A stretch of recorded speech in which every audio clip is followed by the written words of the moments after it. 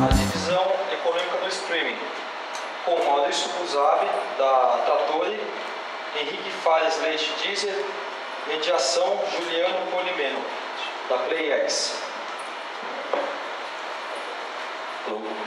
Boa tarde a todos. É, bom, não preciso mais apresentar nenhum dos, dos. Ah, legal.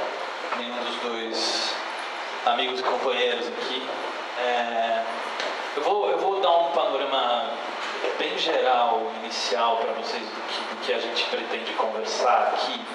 É, que é basicamente tentar tanto mostrar como é que a, a, divisão, no primeiro momento, percentual do dinheiro do streaming tem sido feito hoje, está sendo feita hoje, quais as correlações dessa divisão, por exemplo, com o mundo físico, né, de como os royalties de, de pagamento fono mecânico dos, dos CDs, é, e depois a gente vai, isso tanto para um processo de artistas que têm contratos com gravadoras, e depois para artistas que, independentes que fazem sua distribuição via um agregador ou um distribuidor. É, eu queria começar aqui, esse é um, um dado da, da, Future of Music Coalition, de uma, de uma pesquisa muito bacana que eles fizeram para definir uh, as fontes de receita dos artistas americanos. Uh, a gente não tem ainda esses dados uh, do Brasil, até posso indicar para vocês, eu até fui conversar com a Karina Poli e mais um pessoal da USP que está junto com a BMA, eu acho, tentando desenvolver uma pesquisa similar para descobrir percentualmente quais são as fontes de receita mais importantes para os artistas. Uh, mas esse trabalho é um trabalho que acredito que é o mais, o mais completo nesse sentido nos Estados Unidos, foi um trabalho de anos ali da, da Future of Music Coalition, né? E eles acabaram chegando a, a, a esses dados aqui, né? É, a, uma média dos resultados da pesquisa. Né? Então, 28% da receita de um artista vem de shows, é, 22% vem de aulas ou de qualquer outro, aulas e trabalhos com educação. É, salário, aqui é o que eles chamam de, de session musician, né? De, de, é, aqui é work for hire, for hire, né? Contratação. Você é músico contratado para gravar um, um projeto específico na qual você cede os seus direitos e não recebe os royalties posteriormente. Né? Então aqui 19% da receita. É, ah não, eu errei, desculpa, errei. Aqui salários de músicos de orquestras, salários de músicos contratados mesmo, né, o que a gente seria aqui no CLT, que no nosso caso são muito mais músicos de orquestra. E eles pegaram esse universo inteiro, não é só o universo de música popular, mas também o universo de música, de música clássica. É, agora aqui sim, de, de, músicos contratados, 10% da receita média dos artistas vem desses trabalhos em estúdio. É, a gente tem uns 7% de outros, depois se vocês quiserem eu passo o link, a pesquisa é enorme, gigante. Eles, só para vocês terem ideia de uma coisa, eles, eles encontraram 42 fontes de receita no universo total de artistas que eles pesquisaram. Então esse, esse outros tem uma série de outras coisas. Né? É, ganhos com composição, ou seja, execução pública, licenciamentos, esse tipo de coisa, são 6%, que é o mesmo percentual de ganhos dos artistas com as gravações. Físico, digital, é, incorporando todo, todo e qualquer tipo de venda de, de fonograma de gravação. Né? E 2% com merchandise. Tá?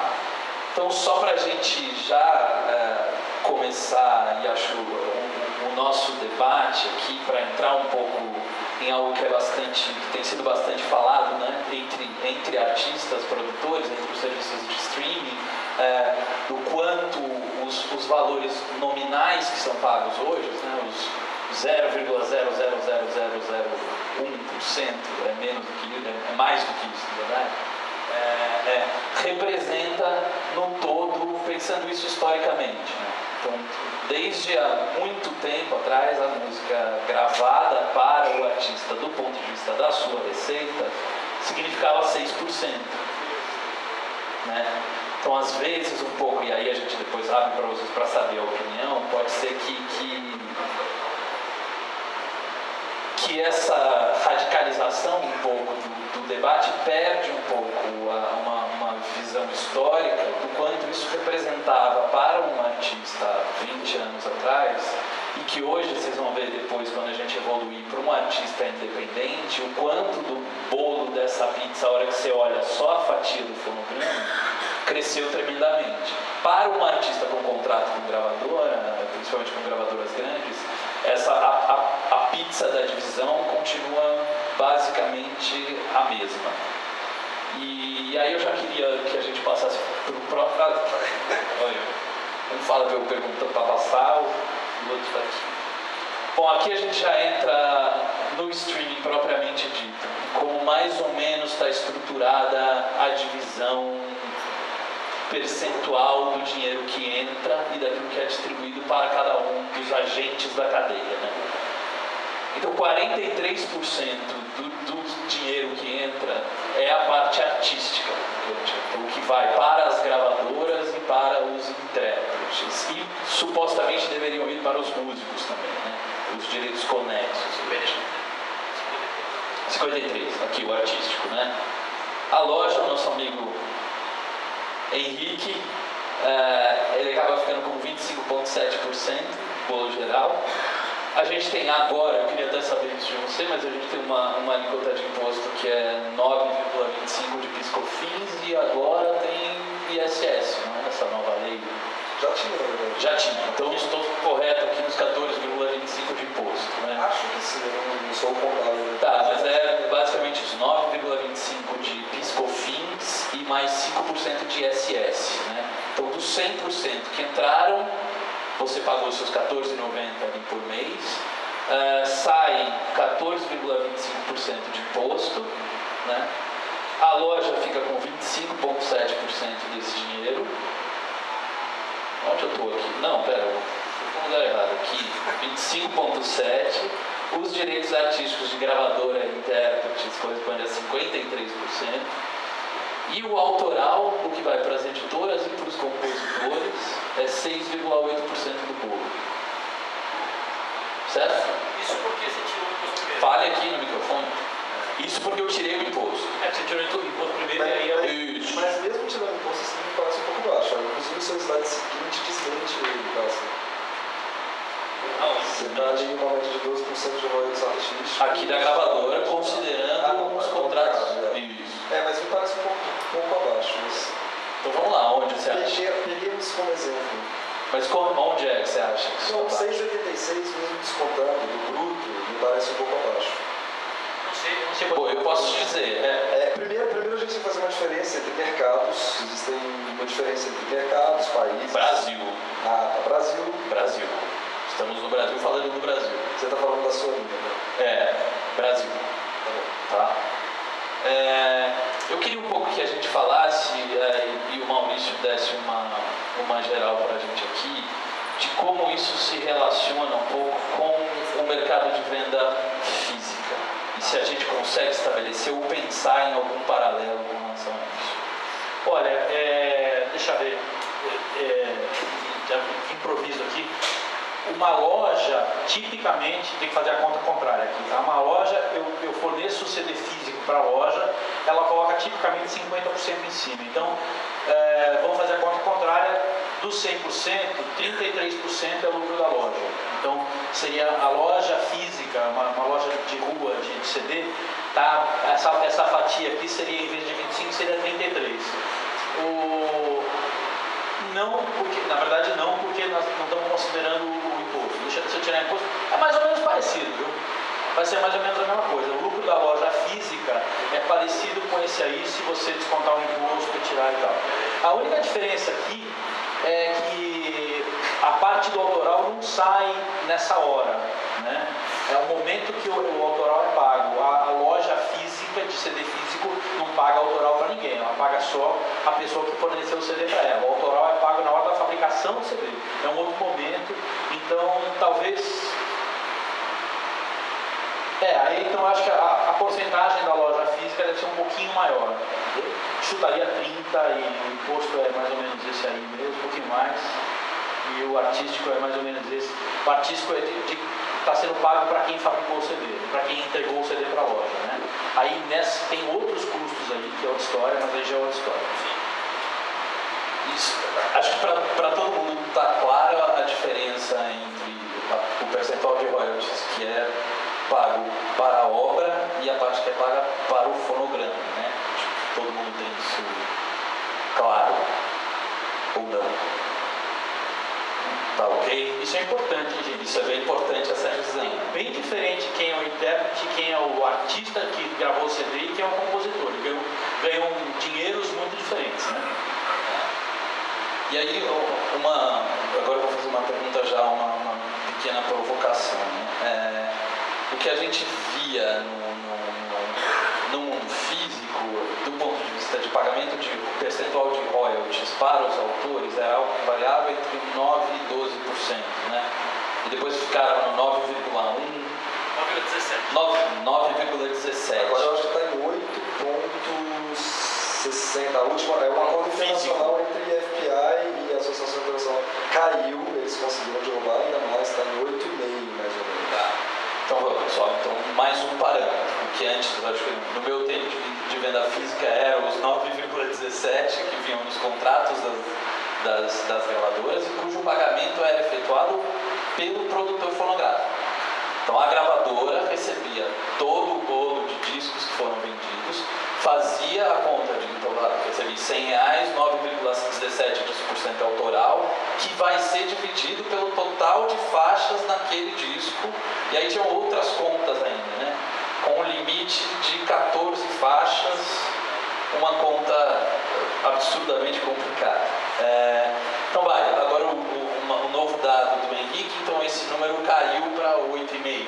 É, aproximadamente. 8,5%. É, e hoje no streaming a gente permanece basicamente no mesmo, mesmo patamar, eu posso dizer, na verdade, a gente hoje no Brasil, 8%. É o percentual pago com relação às horas. E aí, para vocês entenderem um pouco, né? No, no, físico, a gravadora recebia tudo aquilo repassava aquilo para os autores, para a editora e para os autores. Hoje, o funcionamento disso no, no, no Brasil especificamente é, é, um pouco diferente. A loja hoje, é, os, os serviços de streaming ficaram encarregados de efetuar esses pagamentos diretamente para os titulares. É, não por uma opção nossa, tá? Por Sim. uma pressão dos titulares que não queriam. No começo, a gente conta um pouco da história contratual. O primeiro contrato de streaming feito no mundo foi entre a Deezer e a Sony, a Sony assumiu a responsabilidade disso. Quem não quis foram as editoras. Aí existe uma guerra fratídica entre as duas partes, eterna, é, inclusive com empresas irmãs que brigam entre elas, que infelizmente não é a gente, negócio nascente, que vai resolver por, por cunho de, de negociação. Não tem poder para resolver. Essa guerra começou a acontecer porque as próprias gravadoras quiseram administrar como no processo antigo, e quem não aceitou foram as editoras. Vocês entendem só falar, isso, né? Vou só falar uma coisa, que é o efeito colateral interessante dessa história. Para os músicos que estão aqui, tem um efeito colateral maravilhoso dessa história, que é o seguinte é, é uma área cinza, então o que eu vou falar agora vale 99%, tá? Mas vale. Para você gravar um disco físico, você tem que tirar autorização com as editoras. Para você colocar uma coisa no digital, não precisa, entre aspas, você praticamente não precisa pedir autorização para as editoras. Porque quem vai pagar as editoras é a loja, não é mais você. Entendeu? Cuidado que ainda certas editoras ainda podem bloquear a história, é, de forma famosa, no caso do Roberto Carlos, que não quer que ninguém grave a música dele. Se você fizer um disco de Roberto Carlos e colocar para vender na Disney, pode vir a editora do Roberto Carlos e bloquear você. Mas tirando essa exceção e uma outra exceção aqui e ali, você pode gravar um disco e colocar para vender nas lojas digitais de quem você quiser, sem pedir autorização, cheio de aspas isso, tá? Mas está este é o entendimento atual entre as editoras e as as lojas digitais, etc. E para dar um parâmetro, só, só um parâmetro, nos Estados Unidos isso é o que acontece. Por isso eles têm uma agência lá chamada Harry Fox. Nos Estados Unidos você não necessariamente precisa pedir autorização do autor para gravar. É, eu, só, eu, só, queria fazer um parêntese novamente, porque a gente tem dois tipos de direito no autoral. Existe um que é moral, e esse direito ele é respeitado independente do econômico não ser da sua responsabilidade.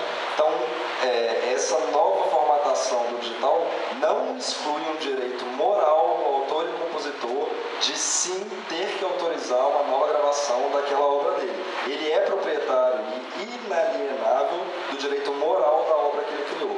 Então, isso é um como diz o Maurício, a gente está numa área cinza, é um está se fazendo, mas não é legal, nem do ponto de vista do direito clássico, que o moral é inalienável. E o, o, econômico também, a gente tem a responsabilidade do pagamento, mas eu não tenho a responsabilidade do licenciamento, nenhuma outra responsabilidade, é só um canal de pagamento diferente. Não joguem, não façam isso, inclusive quando perguntam pra gente, recentemente o Gork fez uma, uma versão do Major Laser com o Pablo Vittar, e aí eu falei com ele, Gork, você não vai pôr? Ele falou, putz, a música é do Diplo eu tenho que pedir, eu, eu preciso pedir autorização? Ele me perguntou, eu falei, precisa, você não. Assim, se você me perguntar, eu, serviço, mesmo a responsabilidade não sendo minha, a responsabilidade de quem entrega o conteúdo é de quem entrega o conteúdo, é, eu vou te falar que você precisa, porque a música não é sua, você não pode colocar uma versão para ser explorada comercialmente sem um acordo, uma autorização. Mas é uma área muito cinza, inclusive é, chegou-se a ensaiar uma autorização específica para isso, é, voltou-se atrás essa, essa área está bastante nebulosa. Então, nesse momento, se você pedir para uma editora uma autorização disso, provavelmente ela não vai nem ter essa autorização para te dar. Então, deixa eu te perguntar, mas eu ouvi, né? Não sei se isso é verdade, mas que estava sendo negociado também agora uma, uma, um valor específico para a autorização específica para o digital. En, ensaiou-se isso. Ensaiou-se isso. Ensaiou-se isso. Isso é, não é consenso dentro da UBEM, uh, mas é, não chegou a ser totalmente aprovado isso aí, isso ainda está em discussão. Essa é uma das áreas cinzas dentro desse negócio. Uh, não se sabe para onde vai muito isso, mas de certa forma, cheio de aspas, não tem para quem você pedir autorização, na verdade, ou a editora não vai te dar autorização específica para isso aí. Se você pedir uma autorização para ela, uma autorização específica para o digital. Eu não sei de nenhuma editora que esteja autorizando isso aí, mandando uma carta dizendo: olha, você pode gravar essa música e vender na Deezer, é, mas é, eu não tenho como te cobrar. Isso não, não tem, na verdade. Eu já recebi uma tipo. Ah, é? Realmente é raro. Eu já pedi, eu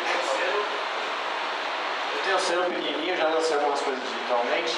É, pedi a algumas editoras diferentes, para DEC, para Sony, para enfim, outras. A maioria realmente responde como você disse, olha, não, não tem nada que puxar autorização, lança lá. O pagamento vai por você, a gente tem uma relação, é tranquilo. Uma, a Sony TV me deu uma autorização dessas, mas eu fui pedir, eles acharam um pouco estranho, não, não, vou te dar. Era só uma questão, era uma compilação ou era uma regravação? Não, só um single, regravação. É, cuja obra era editada pela Sony TV. Mas tem gravação, sim. E lançamento exclusivo no digital. Isso, exclusivo no digital, não previa nenhum pagamento meu para a Sony, mas teve uma autorização. Foi um caso raro realmente, mas já existiu pelo menos para mim. É, eu vejo inclusive um problema de identificação disso. A editora, é, se ela não foi pelo menos notificada daquela gravação, a gente tem muita música com o mesmo nome. Ela identifica por. Você não, não declara necessariamente o autor quando você sobe o metadado que eu tenho que eu para ele. Não declara. É, é, a gente tem espaço, inclusive, mas não, não, a maior parte não declara. E aí o problema é que mesmo ela dando essa autorização, como é que ela vai identificar que essa obra de um artista outro, que ela não sabe que fez a regravação daquele título, é a mesma obra que ele? Bom, é claro posso... que a gente sabe que as editoras, na dúvida, têm a tendência a cobrar tudo. Eu posso te falar, né? gente. Acho que o, a gente eu posso complementar. de 100%, que é uma outra então. Eu posso complementar, porque na PlayX, a empresa que eu trabalho, a gente tem feito esse, esse processo. E é um processo hercúleo, para dizer o mínimo. É, o, o me manda uma planilha com tudo o que foi executado no Deezer e a gente tem que, nesta planilha, procurar o que é que a gente representa. Então aí você imagina tem casos e casos, mas o, o, básico é, ele vem o título da música, o nome do intérprete e quando muito o ISRC. Aí eu tenho que fazer milhares de processos ali, a gente tem dezenas de algoritmos para tentar processar isso, para fazer o que a gente chama do match, vincular este fonograma com alguma obra. A hora que a gente consegue fazer isso, eu processo o estudo, faço os cálculos, baseado nos percentuais individuais de cada titular, devolvo para o Henrique, ele checa, você checa? Eu não, porque eu não, nem passo perto dessas tá coisas. Ele não checa. Mas a gente checa, é. a gente checa para ver se tem reclamação. É, duplicidade. Duplicidade de reclamação da obra. Sim, né? Pra vocês entenderem. Se eu fiz uma, uma solicitação de pagamento para o Deezer e a, o bem fez sobre a mesma obra. Então esse, esse dinheiro Caso você saiba disso com antecedência, esse, esse pagamento fica bloqueado. Um outro caso que pode acontecer é se nos casos errados em que uma dessas entidades identifica uma obra que no fim ela não representa, depois quem tem que exercer a cobrança para reaver esse dinheiro sou eu direto com a outra editora. Ah, o serviço não, não, não, não se mete mais nisso, eu tenho que resolver lá com alguém, com a Universal, com quem quer que seja. Tá? Ficou claro esse, esse processo. Né? Então, antes o que era a própria gravadora recebendo as faturas dos discos vendidos eh, das lojas, fazendo este cálculo para depois efetuar o pagamento direto para a editora e o autor, hoje esse processo mudou. E mediante autorização prévia para que ele pudesse inserir naquela, naquele disco aquele, aquele fonograma. Hoje, não necessariamente na área cinzenta de se precisa ou não precisa de uma autorização que seja exclusivamente para o digital. Se a gente for para a lei, obviamente, precisa. A lei diz que precisa de autorização. Então, do ponto de vista da lei brasileira, é, é ilegal é, não ter uma autorização. É, a gente, a gente tem um problema, por exemplo, é, não é do autor e compositor necessariamente, mas o João Gilberto agora ganhou anunciaram hoje uma causa de 200 milhões exatamente por direitos morais. Enfim, é, pegaram as obras registradas dele e reempacotaram de outra forma. O direito moral ele não é administrável por um terceiro, ele sempre pertence ao artista, ao artista original. Enfim, demorou 20 anos para ganhar a causa. Mas se alguém fizer uma reclamação. Quer comentar?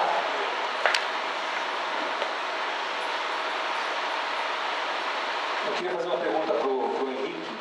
É, essa questão de não ser exigido, é, não ser necessário é, dar o nome do autor no cadastro, isso não pode gerar, é, quando houver, por exemplo, é, duplicidade na, na, na, definição de, de, quem é o autor de determinada obra. E há uma outra questão também que a lei autoral brasileira ela determina que o, o nome do autor seja é, acompanhado do, do, do, título da obra. Inclusive, gerou uma discussão com, com as rádios. É, existiam, existiam mais, vários movimentos no sentido de que a rádio anunciasse o nome do autor. Como temos vários aspectos aí, econômico, espaço. Então, uma coisa que se questionou muito, já vi várias pessoas comentarem, que no âmbito do streaming, que é uma é, é, é a nova realidade da difusão da música, se não seria a forma de que a identidade do autor fosse é, identificada. Né? Se, se, não seria necessário que o Deezer, como o Spotify, o Apple Music, passasse a exigir, quando no cadastro, que se identificasse os autores. É, o problema é de responsabilidade jurídica da mesma forma. Quem entrega a informação que eu exploro comercialmente não é a editora, não é o autor. Infelizmente, hoje, os editores não são parceiros do negócio, eles só são taxadores do negócio. Eles não entregam uma linha de informação, não entregam um bit de música, tudo vem pelo, pelo dono do fonograma. Quem é o meu parceiro na constituição do catálogo eu exploro é o dono do fonograma. Eu não posso confiar a responsabilidade cega, pelo menos de identificação e pagamento a partir, tomando essa base como, como uma verdade contratual, como eu faço para o fonograma, eu não posso tomar esse dado vindo do produtor do fonograma. Eu adoraria que isso viesse das editoras, mas as editoras não têm nem a base de obras dela organizada para integrar e organizar o catálogo previamente, ao invés de posteriormente. São, são problemas que está nascente.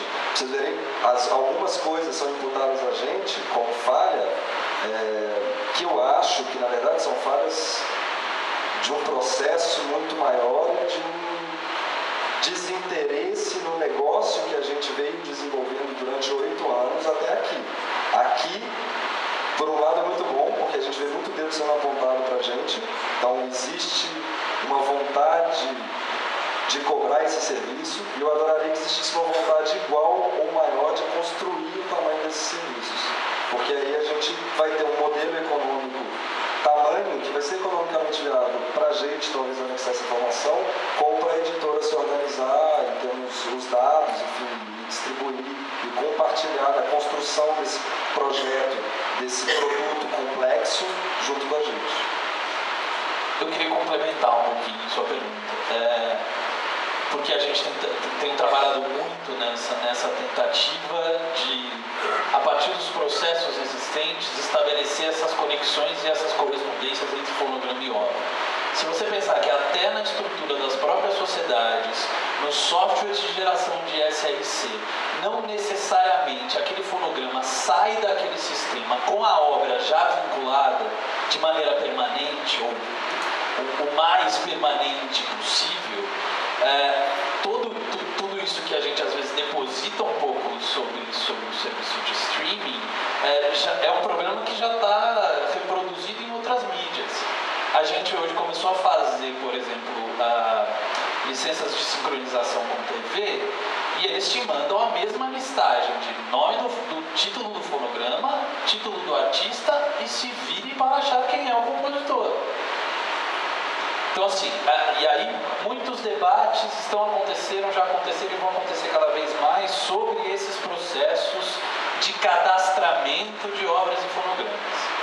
E como é que você consegue garantir o vínculo entre os dois no momento em que ele nasce? Porque depois, né, e aí a gente tem lá na, na empresa não tem, a gente tem dois, dois, dois processos de trabalho. O primeiro dele é como a gente resolve o legado de informação, por exemplo, a gente tem casos lá de mesmo fonograma com, juro para vocês, 493 ISRCs. E a gente tem obras com 49 SWCs. Por conta da estrutura do próprio mercado de licenciamento do mesmo fonograma para outro país, para uma coletânea, gera um. Licencia uma obra para uma subeditora, ela gera um novo ISWC, aquela bagunça. Você não acha isso nunca. Você não acha isso nunca. Né? Então, é, pra, só para pontuar um pouco que isso é um, um problema bastante estrutural é, não, e não é, unicamente exclusividade não, é, do, do a, a nossa falha, se ela é apontada nesse sentido, não é uma vontade inerente de falhar nesse sentido. Ela vem de uma estrutura que não dá conta, pelo menos, de construir alguma coisa hoje mais avançada do, desse ponto de vista. Então, evoluir. Eu proponho que a gente passar um pouco um assunto mais animado, que eu acho que a gente está gerando sono. É, eu não sei, eu queria só ainda um pouco nesse assunto, me apresentando aqui, sou Theo Luiz, também compositor e, e, e tenho é, trabalho distribuído também digitalmente. É, eu fiquei, é, que nem o Maurício falou, é tudo muito nebuloso, né? a gente ainda não entende muito, muito essa coisa. É, eu acho que ficou um pouco confuso, eu queria só ver se eu entendi certo, talvez pode ser a dúvida de outros colegas aqui. Na hora que você vai gravar o fonograma, seja ele para distribuição física ou digital, você precisa ter autorização daquele compositor para gravar o fonograma. Isso é uma autorização independente da autorização de comercialização. Isso. É isso, né? É. Porque daí quando você comercializa... Você tem, existe em teoria, existe uma autorização separada que seria a autorização para o registro da obra. É, para você gravar a música. E depois uma outra para você comercializar. Quando você faz o seu CD físico, você está autorizado para os dois já, tá? Tudo junto. Tudo junto. É, são dois, na verdade, são duas autorizações em uma. Como você já foi autorizado para gravar, você não precisa ser autorizado novamente, e aí não é ilegal, você não precisa ser autorizado novamente para vender essa mesma música na Disney, por exemplo, tá? Porque a Disney vai pagar você. Você já tem autorização de fixação dessa. dessa é, é uma, é uma autorização para você gravar a música na tua casa. É, essa, essa, essa, essa, se você fizer a música só digital, você precisaria, em teoria, só dessa. Só dessa. Só que essa ninguém. Eu, que, que ele falou ali, olha, eu tenho uma dessa, eu nunca tinha ouvido falar numa dessa, e se você pedir para uma editora, ela vai falar, olha, a gente não vai te emitir isso aí, sim, seria obrigatório, mas a gente não tem como fazer isso agora. Ah, então, na verdade, essa é a área nebulosa, não porque a gente não saiba, porque está indefinido mesmo. O ideal seria que você entrasse no site da editora e falasse assim, olha amigo, eu estou gravando isso é, no formulário e, e ok, para a editora saber que isso foi gravado é, e te emitir uma autorização automática, alguma coisa assim. Porque na verdade não deveria, não deveria existir é, nenhum pagamento nesse momento, porque você está só gravando na sua casa, você não vendeu nada. E o pagamento vai ser feito depois, né? Via loja digital. E em teoria a editora não deveria te cobrar nada, e não estava cobrando. Ensaiou-se uma cobrança que agora está todo mundo esperando para ver. Então é uma área muito nebulosa isso aí, não porque a gente não saiba, porque não está muito bem definido. Mas o que está todo mundo fazendo é ou nem liga, pra, nem, nem telefona para as editoras, ou telefona e escuta, olha, a gente não tem essa autorização, pode gravar aí, e depois a gente vê. É, então, é isso que está acontecendo nesse momento, praticamente. É, uma editora, que eu não vou dizer quem é, é me falou, falou, olha, é o seguinte, é, grava, só toma cuidado com aqueles compositores que todo mundo sabe que dá problema. Roberto Carlos, etc, etc. Roberto Carlos, etc, etc. Esse é Roberto Carlos. Mas outra dúvida, a outra dúvida, no caso, no, no caso do streaming, é, é, claro que no físico é, é, um pouco diferente do que você está falando. Então, só para ver se ficou claro, no caso do streaming, é, é, essa fatia da pizza azul aí, o artístico, é, 53,16%, é, é pago, no meu caso, que eu não tenho nenhuma editora, então, no caso... Ó, oh, oh, só para você... Aqui é, aqui é fonograma. Aqui é a obra. Não, eu entendi. Então, a Trator, por exemplo, me repassa qual parte dessa pizza? Não, aqui? Essa aqui. A, a, azul, né? É. É, isso que eu ia falar. Então, é isso. A Trattori te repassa 75% disso aqui, porque a Trattori fica com 25%. Eu te repasso 75% desse cara aqui, do, do azul. É, não, claro, tem a porcentagem da Trattori. Mas no autoral, que é aquele laranja lá, seria em tese o ECAD, é isso deveria repassar? Ah, não, a editora. Não. Aí é que entramos na confusão, mais uma vez. É, hoje, e, talvez. Difícil, né? É, talvez o Henrique possa até falar um pouco mais desse processo, mas. Quando, é, quando é problema, você fala, talvez o Henrique possa falar. Não, eu falo se você quiser. É, não, é, pra não, tem, não tem problema. Para que as lojas digitais, o iTunes, para ser bem específico, conseguisse entrar no país em 2011, isso, é, eles conseguiram fechar um acordo com a UBEM, que é a União Brasileira das Editoras de Música, que os autorizou a vender as músicas na, na loja digital, contanto que eles repassassem um percentual, que naquela época eu não sei exatamente quanto era naquela época, mas variava entre os mesmos 9, de 9 a 12% é, com relação ao autoral. Como é que esse repasse era feito? O iTunes pagaria diretamente ao bem enviando uma planilha para que alguém identificasse cada uma de suas obras que estariam ligadas a cada um daqueles fonogramas, fazendo a identificação. Ele retornava para o iTunes uma lista com essas obras e o iTunes pagava. E é assim que funciona hoje. E aí hoje no Brasil, o BEM, a gente está fazendo PlayX e a UBC eu tenho o BEM, o BC, vocês, PlayX, Fermata. É, Direto, editoras diretas. E MK Music e agora a VMI tenta, se habilitando Sim. também para recolher. Sim. Então, basicamente, a gente paga o mais direto possível para o autor e compositor, que no caso é a editora ou a associação de editores. O ECAD seria um intermediário a mais, que passaria para as editoras, que passariam para as congregações de editores, que passariam para as editoras, que passariam para o autor compositor, dependendo do tipo de direito que a gente está falando. No caso do nosso direito, a gente paga direto para a editora ou para essas milhões de editores. Ou para a Playarts, que é, por exemplo, um modo de funcionamento diferente, não posso chamar de editora, né? apesar da gente ter que se, se situar juridicamente como uma editora, né? a gente se situa como uma administradora, mas nesse caso, por conta de todos esses processos e a dificuldade desses processos, ou seja, o que, assim, uma, uma, uma grande discussão é assim, sim, é possível, vocês estão abertos a fazer este, esse pagamento diretamente, só que quando você volta para o lado técnico de como você tem que processar esse tipo de coisa, você inviabiliza a, a, a possibilidade de alguém fazer isso diretamente, porque são processos bastante complicados de identificação, você conseguir resolver. A gente ficou, sei lá, um mês fazendo uma integração com as lojas de streaming para conseguir processar aquele volume. Imagina, vem uma linha com cada play que todos os usuários deram no de streaming. Para você procurar a obra do TEL que está vinculada a um fonograma que não vem com ISRC, que às vezes não vem com informação nenhuma. Né? Seria mais ou menos, você poderia fazer isso diretamente. O Henrique manda para você a planilha, você fica olhando cada linha e procurando. É, já, já começa no problema anterior. Dentro da, da prioridade jurídica de tratamento, imagina tratar um, um contrato individual de um autor-compositor, iria demorar muito no processamento também dentro da própria empresa. Então, são duas linhas de bloqueio, essa e a outra de tratamento de dado, tratamento jurídico e tratamento de dado, que acabam inviabilizando esse negócio, tanto para o lado do para o lado dos serviços. O que a gente poderia fazer era uma licença única, como qualquer serviço de UGC faz, que é tá aqui, você clica, você aceita o meu termo. Mas hoje a gente não tem nem, nem entendimento jurídico estável dentro desse negócio para fazer um único. A gente tem um serviço que faz único, né? dentro do serviço de streaming genericamente falando, Sim. que está com problema exatamente de autoral na justiça, não é à toa.